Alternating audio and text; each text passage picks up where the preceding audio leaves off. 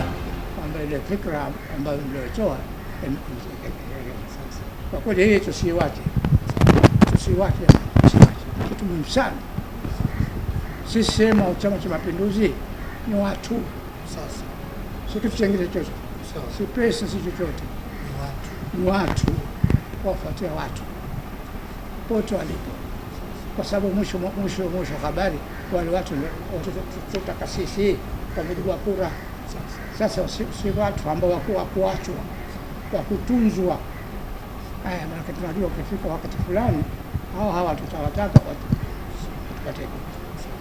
kwenye hili moja hilo katika nasaha zangu, tusiwache kuwapitia kama mlivyofanya hivyo, na ku- nimekupongezeni sana sana sana.